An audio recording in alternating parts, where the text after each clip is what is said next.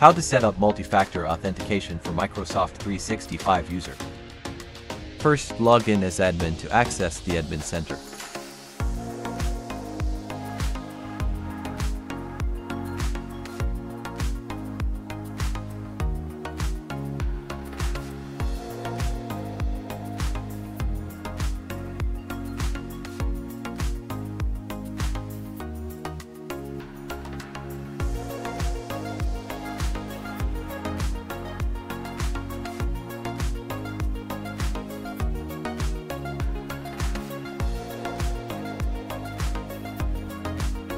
Second, click Users, and then click Active Users.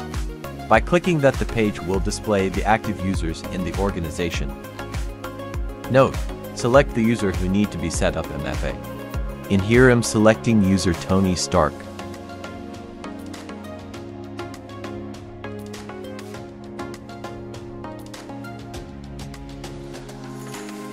Note, all the users MFA are disabled, so I am going to enable MFA to the user Tony Stark.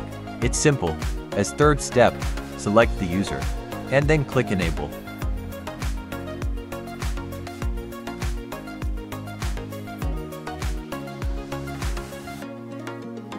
Fourth step, let's log into Outlook.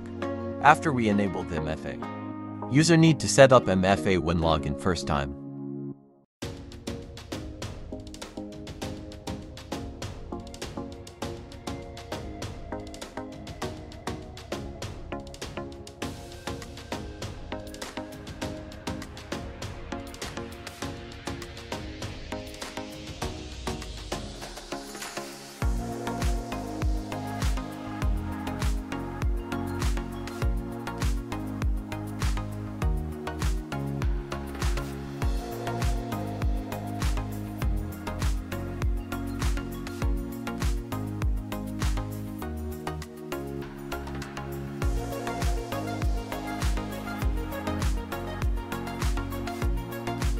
Note, action required due to the user account MFA enabled by admin. Click Next to set up MFA.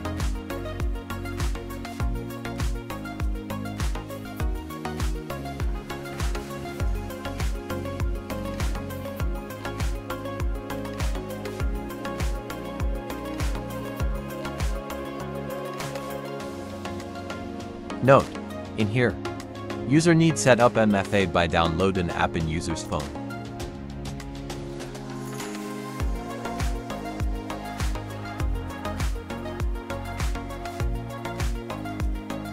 Note, in here, user need open the app in phone and scan the QR code.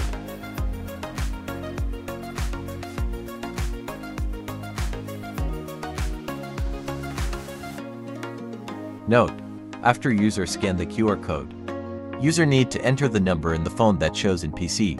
Entering the number into the phone step should be follow. Whenever the user try to log in. Note, MFA registration successful. This is how admin enable the MFA from admin center and the user set up MFA while login first.